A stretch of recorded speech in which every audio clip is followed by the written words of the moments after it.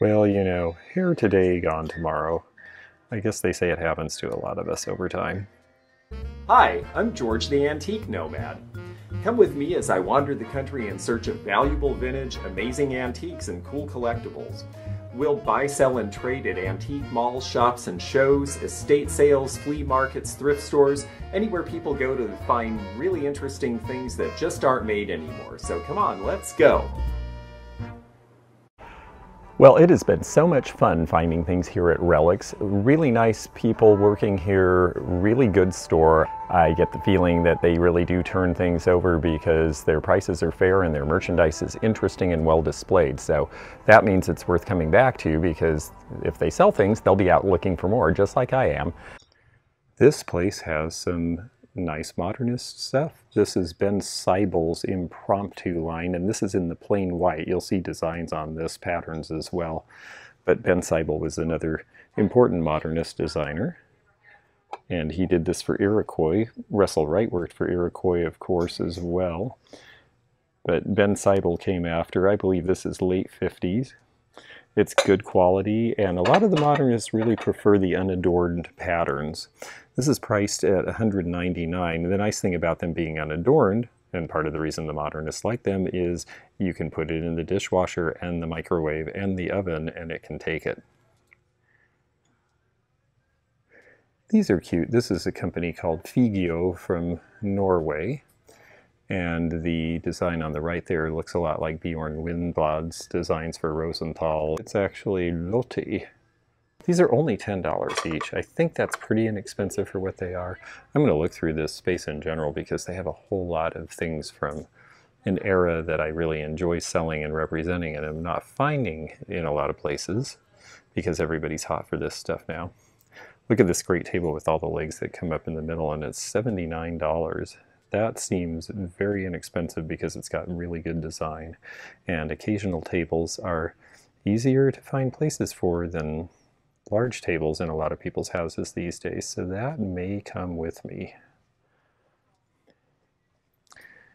The yellow princess phone, this is one of the first push buttons as seen in the Fabulous Holiday Inn. It's in good shape. The color hasn't faded people are really into phones now. So this one is priced at $37.50, which is fair for what it is. This is the lime glaze in Treasure Craft pottery. Treasure Craft marked things really clearly by the time this came out, which would have been about 1970, and they only have $8 on this. You can still find good deals on Treasure Craft. Notice the way the foot is shaped. There's actually a huge shell. They were sold separately or together. The huge shell is a big chip bowl, and then this sits in it as a dip plate. Culver and Federal glass. Neat piece of bark cloth. This looks like it's original. Priced at 165 When you see the old bark cloth and it's original and it's got atomic era patterns on it, it's not going to be inexpensive these days. Most people are pretty much on to that.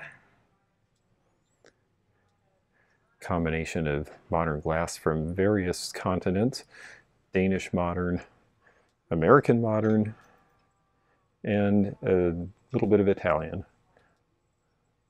The horse is a standout. $89, it says it's Murano. I believe that's probably true. And while amber is not usually a color I get excited about in glass, it seems very appropriate for this figure, which makes me tempted to get it. I do a lot of shows where there's people who decorate Western as well as modernists, so I feel like there's two customers for me for this. And I think I'm going to see if they will do any sort of a better price on it for me. I don't know that it's a designer of any sort, but I'm pretty convinced that it is not Mexican because the detail is better than the Mexican glass that I saw in figures of this era. Mexican glass has improved a lot, by the way, so don't see that as a slight. It's just, it's improved over time. And look how he stands like he's running this way. Yeah, I really like that guy. There's some Couroc trays. The pineapple is a good motif, and this is $25. And next to it, oh dear, won't that hurt if she sits on that wicker chair? 1970s pantyhose. People get a kick out of old packaging, and those will probably sell for $4.95 a piece. This Elgin travel clock would have been one of the last they made before they went out of business in the 70s as a manufacturer of their own stuff. This already was being made offshore. I believe it says Japan on the bottom. But it's a cute look. And people are collecting travel alarms. It seems to be a thing now. Price on this in this poppy blue color 1275. It's probably worth 25 to the right person. Something to consider. This hair comb isn't as spectacular as the other one we saw, but it's a nice translucent red color and it's only $6. It's definitely from the 50s and I think I'm going to take that. And then let's see what else is in this space because this one has some neat stuff. If you've been around a while, this is the old original Krystal mug from the Krystal hamburger stands, which have been around for quite a while in the little bowl. And we're going to pull back here and see some Hall. This is white rose and blue rose. And you can see why they use the airflow shapes that were prized in the Art Deco era. And they use them with these rose transfers and then either the white base or the blue coloring. These are the Morning Glory, which is a little harder variation to find. $40 for the three bowls really is a pretty good deal. Hall in its time for collectors was popular like Pyrex is now because it's something that was in so many American kitchens. It's very durable and you could use it in dishwasher, oven, refrigerator. I think even the freezer, I think they guaranteed it for that at one point. So a very good practical thing and something worth collecting now if you're actually going to use your stuff. It can take it better than a lot of things could.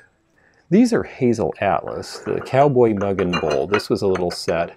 I believe it was Cheerios or one of the cereals that you got these from. It's got the Hazel Atlas mark on the bottom, which will probably be hard to see.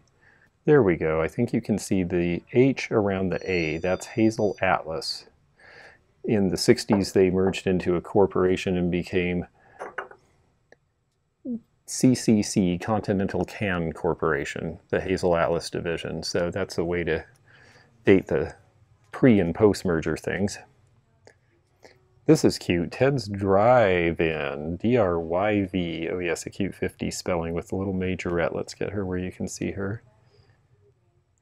She looks like a majorette, but she's a car hop. These are very cute. $12.50. People enjoy things from old establishments that are gone. Eat, drink, dance, fun. Got some bookends in Syroco wood here. These are going to be Scotties, of course. Such a sign of the era.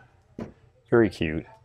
And then this is similar to Howard Pierce in terms of the speckling glaze, but it's a little rougher to the touch. And when you turn it over, you're going to find out it is actually Pigeon Forge pottery a lot of tourists at Pigeon Forge. The pottery has been around for quite a while. I believe it may still be in production. I'll have to check that. But the older pieces are collectible and they're cute. This one's priced at 17.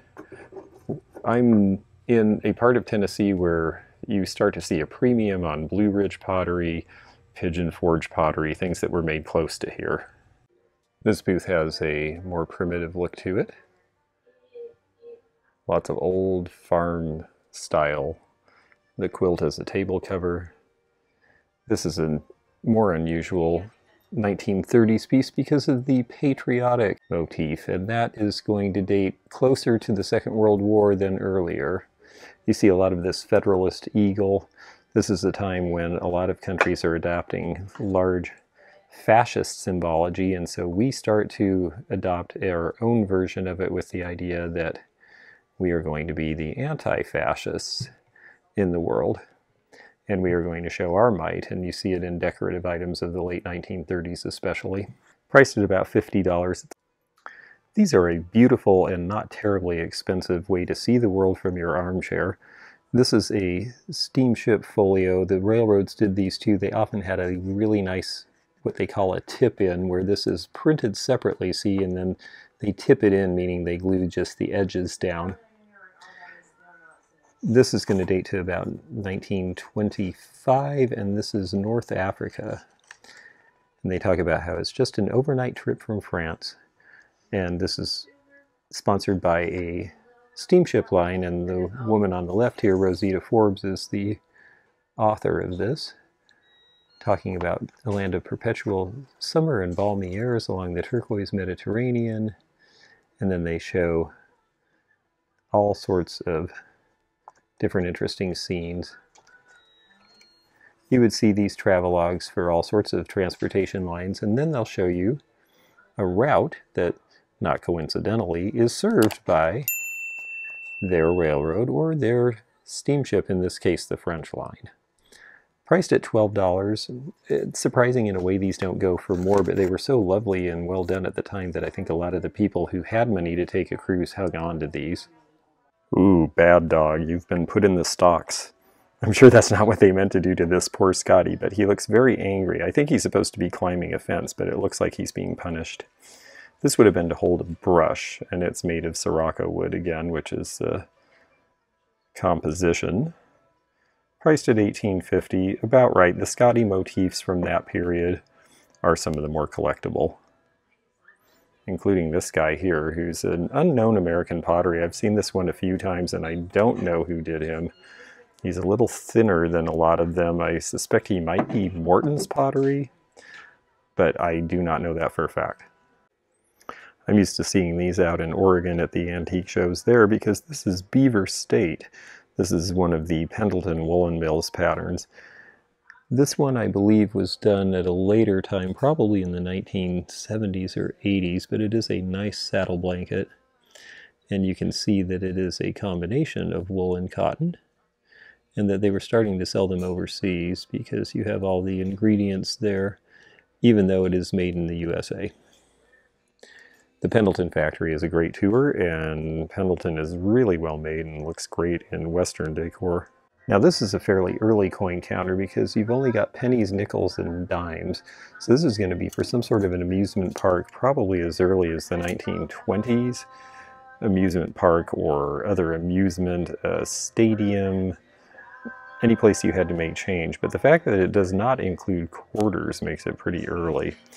Unfortunately, today it makes it a little less saleable, but it is only priced at 15 and I generally do well with these. If I didn't already have one that had quarters with it, I would probably take it. He made the world a better place to live, according to this, and that is Will Rogers. Try to get the glare off him there. Will Rogers was an everyday folksy man who became very popular during the Depression in the early days of radio by being both comforting and pointing out the plight of the common man. He was killed in a plane accident going to Alaska, and there was a real psychic outpouring amongst everyday Americans about this. So in 1937, an artist named A.D. Elig painted this posthumously. It's priced at 135. Now, I'm fond of telling people that generally things made posthumously are not that valuable when a celebrity dies. Will Rogers is a little bit of an exception because that wasn't an era of commercialism and he wasn't selling product at the time. So there isn't a bunch of previous Will Rogers stuff other than newspaper clippings and things. It wasn't like they made dolls and figurines of him. And so his pieces are actually collectible from when he died because it's really a reflection of that moment in time. The bass mount from Eufaula, Alabama is $59, which is a pretty good price for a well-mounted bass these days. This is neat. These used to go for more, and I wish they did, but it has the sticker with it, so I might take it anyway. These are early State Farm grill mounts. So that 1930s car, which looks like about a 34, 35, would have had this on it to let you know that the Virginia Farm Bureau Federation was taking care of you. You see a lot of later ones, you don't see so much from the 30s. This would be a later 30s or early 40s car, and this one is the sticker that went with it. And since it's priced for the pair at $19.99, I think there might be room in that. The pros and cons are it's not in perfect condition because it's got this corrosion and that usually bothers me. But the fact that it's specific to Virginia and it's pre-Second World War makes me think there's a chance that this one's a little better than the ones I see typically. This rack to hold the belts would be a great man cave thing to put on the wall for holding jackets or holsters or such things. And it's got the Gulf oil mark on it because this would have been in a Gulf garage. It's a pretty basic piece. It's only priced $37.50, but somebody modified it at one point. So if you take a look, the Gulf, which should be in the middle, is actually off center. There used to be one more section. And because of that, I think I'm going to leave it even though I think it's pretty cool. People seem to like to lecture to one another in the 1910s. Gee, does that sound familiar? And this piece is a good example. It has a saying, early to bed, early to rise, prompt at 10, hang up your ties. Very important to do that, and very important to be told that by this sign. I get a kick out of things like this, and I have a restaurant owner in Florida who decorates his restaurant with old wooden signs. And he'll like this because he can hang other things on it like bar linen. So I think I'm going to get that for 14. These are pretty cute in here. They're Bakelite card holders with the bowling pins. Second World War troop photos. We've got a few here. These seem to be priced about 35 and 45, which seem to be typical prices for these. A lot of these are bought by relatives of the folks who went through these experiences. Okay, so this isn't exactly a lucite purse, but I hope it's in condition because $24 seems like a really good price on a fun little box purse. And it's plastic. Okay, that looks pretty rough. Let me see if I can fix that or if that's a permanent problem. Sadly, that is a permanent problem. They've put a new wire through it. And I don't blame them. It's worth saving a cute old box like that. But unfortunately, it's not worth more than 24 to me because of that. So while I'm thinking of it, please comment in the space below here and also hit the thumbs up button to like this video. If you haven't subscribed, click the subscribe button below. Also, hit the bell below to be notified of new videos coming every Monday and Wednesday at 8 p.m. Eastern. And thank you so much for following along. Let's go back to this video. Big fan and string art. The string art boat is fun. It's starting to shed a little as they often do. You sometimes have to comb those back into place or reattach one or two. They have it at 2250, is that right? Or is that the driftwood? Ah, oh, 24.95. Here's a neat old iron stand. Now we see a lot, this is good because they've got a bunch. We can show you a few things.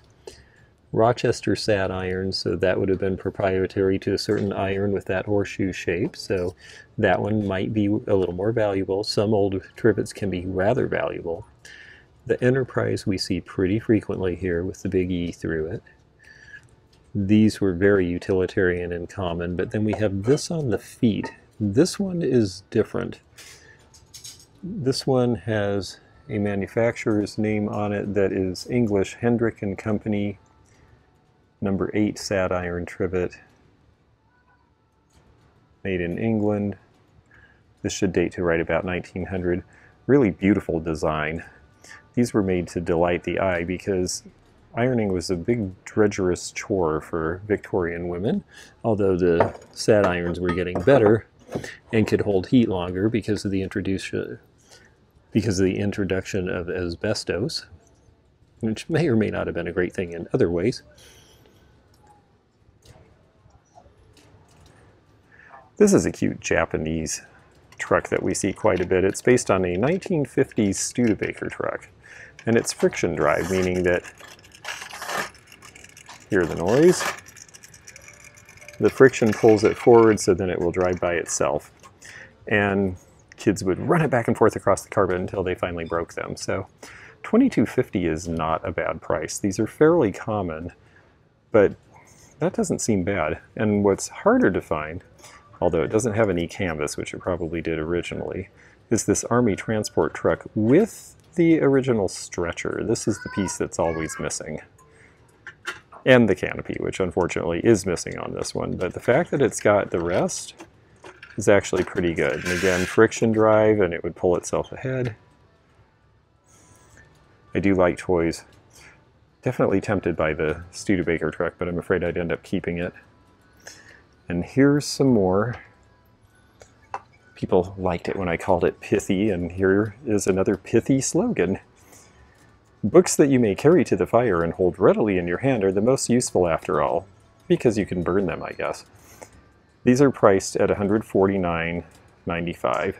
They've got the Old North Wind, which is a good design on it. That is part of what makes them special. They are very heavy. They're not marked Bradley and Hubbard, which surprises me because they seem like their work. Next to it, priced at about 100 is this old grocery company cigar cutter because you had to be able to chop the off the cigar after you rolled it. And then these balance scales that I'm bashing around are European style. They're only priced around 69 on this one.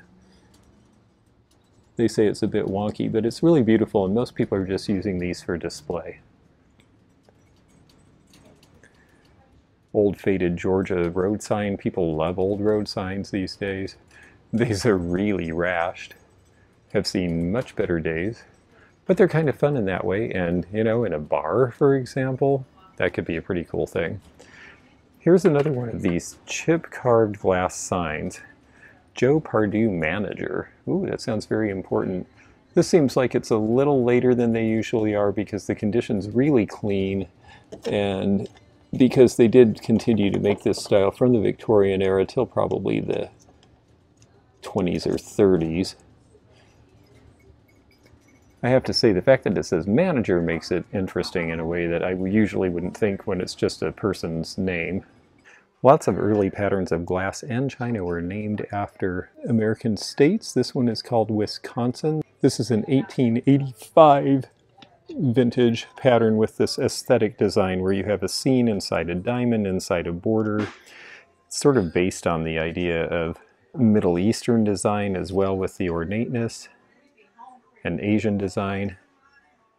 All of those aesthetics kind of came together at the same time. Brownfield and Sons is the company and Wisconsin is the pattern. I guess that must be on the Great Lakes in Wisconsin. There's another fun sign. It says shop and it's got two things that look like spinning wheels, although they may also be trying to indicate some sort of electrical equipment. It's only $47. It's quite a large plank. I'm sure somebody made it for their home workshop. I'm tempted. I don't know if I can get it in the car. Here's some stretch glass. This is a variant on Carnival glass that comes late in the production of Carnival when they're trying to extend the product life of that. I'm going to not extend this guy's life if I'm not careful here. Let's see if I can get that out. There we go. These are both Fenton pieces, I believe. Imperial did them as well.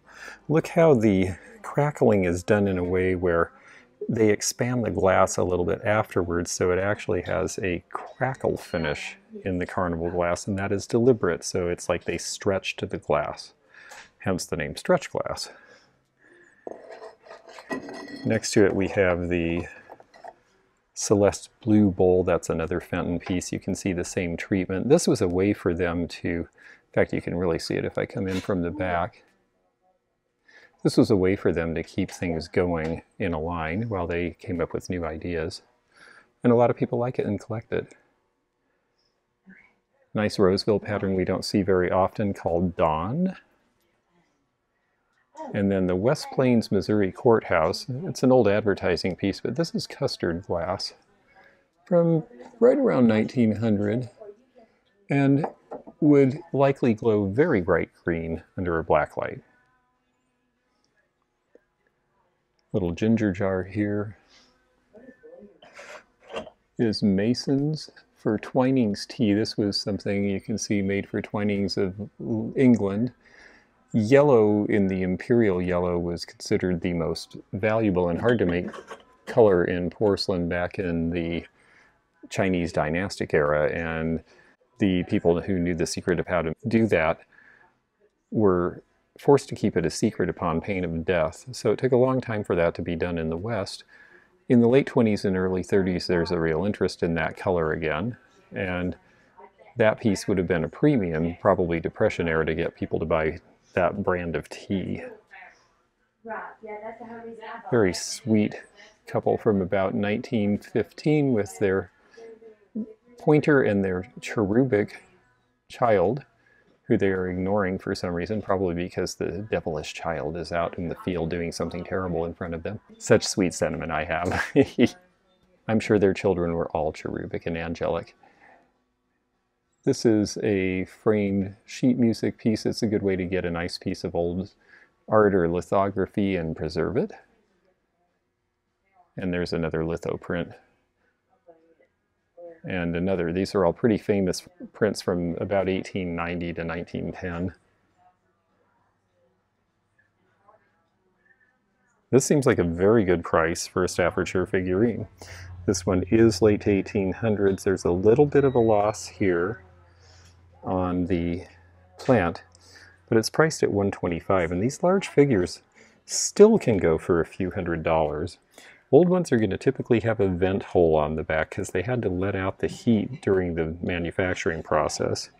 And they're not going to have glaze on the outer ring and they're not going to have a mark.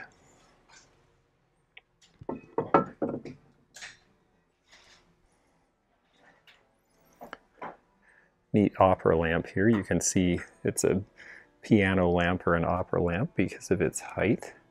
Meant to be able to read music when you were standing at the lectern singing or playing the piano. We see a lot of these from this era. These were very popular in the 1950s based on the Czech Bohemian glass of the 1880s.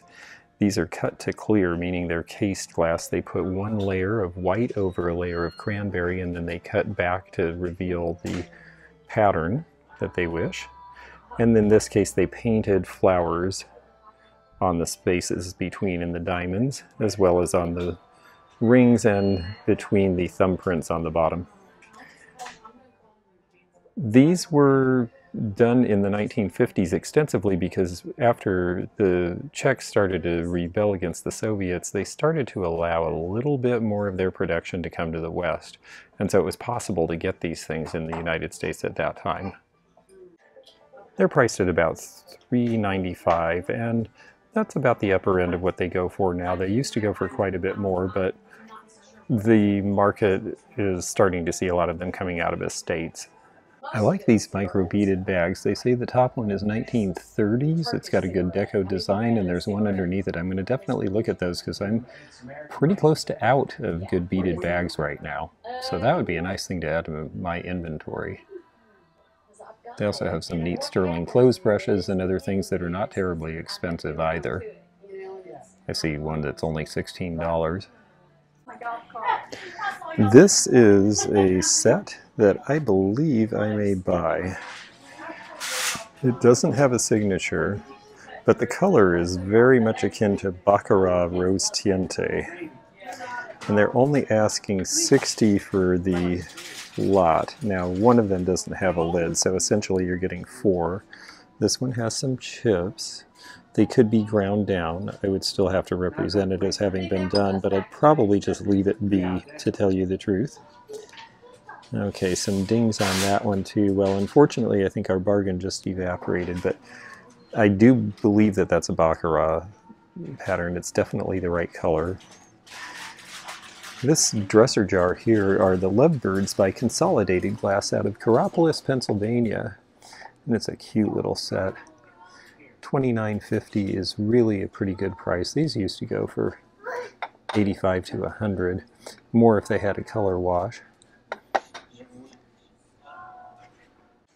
Look at this beautiful color. This is Tiffin Twilight. They're priced at $14.50 a piece. They've never been used. Twilight was their version of Alexandrite glass. And I believe I can show you the color changing property. See how really deeply lavender it is. Now let's get it up near some artificial light and it should start to fade more to blue. So we're getting just, there we go. Now it disappears into blue because it's in halogen lighting in this case and then we get it back where there's the natural light coming in from the door behind me and it starts to restore to this wonderful deep color. Duncan and Miller and some other companies did this as well. It's been done in Czechoslovakia. It's been done, I believe, by the Caithness Paperweight Company in Scotland. So if you are interested in color changing glass, this is another thing besides uranium glass that's really interesting because of its properties. I haven't found a lot of jewelry here, but that centerpiece that says it's signed Regency is interesting to me because Regency is a pretty good company. And they use nice stones, I believe a lot of Swarovski crystal and Austrian crystal of various sorts. I think I'll take a look at that one. This little open pin dish is supposed to be open. That is Wavecrest, part of a group of companies, Kelva, Nakara, that did different versions on this same thing. They were all under one roof in Connecticut.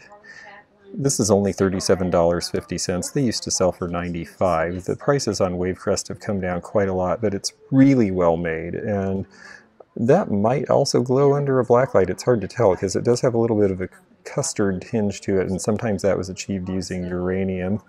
This bowl here is neat. This is something called overshot glass, the cranberry dish here. It looks sort of crackled, but what it really is is little pellets of glass are essentially shot onto the surface of it by a machine while the glass that they've cast is cooling and it fuses together and gives it that pebbly finish. You may be able to see it a little better from the back. It's only $15, which is pretty inexpensive. I think you can see a little bit of it there. Let me see if I can bring that in. Or you can see the crackly.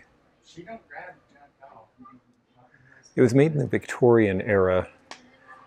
It is possible, to my memory, that there were some reproductions.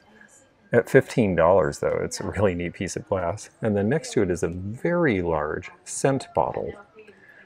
Women carried large scent bottles around, partly because in the late Victorian period when they were expected to be corseted, and into the Gibson girl era as well, women would fall over because they couldn't get enough breath and they'd have to be revived. It was a terrible idea, but I guess everyone had a fabulous waist, so beauty first and comfort later. Well, this is a neat shop that I can highly recommend. It was a lot more put together and the quality of merchandise was good and yet the prices were where you could still shop. Something I found, this really cool bird. It's a flower frog. You could put the various flower stems in the bottom to arrange them. People sometimes use them as pen caddies on desks too, and this one has a stamped made in Japan mark if you see at the top there. In any event, it's been really fun bringing this to you. Thanks for joining me again. I'm George the Antique Nomad on Periscope, Twitter, Instagram, and Facebook every day, and on YouTube Mondays and Wednesdays. So my birdie and I are going to take off now, but we'll see you again soon. Thanks for joining me again in the fun and fascinating antique community here where online meets the real world. Please click the subscribe button below Click the bell to be notified when new videos upload. Leave a comment below and hit thumbs up to like this video. Links to our online social media daily posts and our items for sale are in the description. This is George at The Antique Nomad. Bye for now.